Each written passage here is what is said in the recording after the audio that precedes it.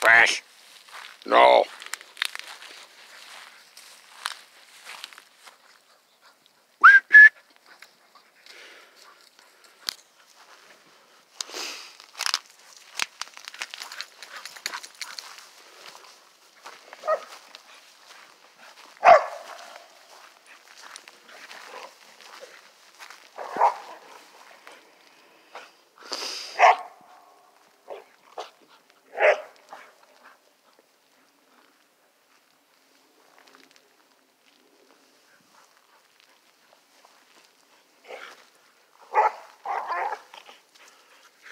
Twenty-seven degrees, no ticks at all. Perfect weather for a dog run, and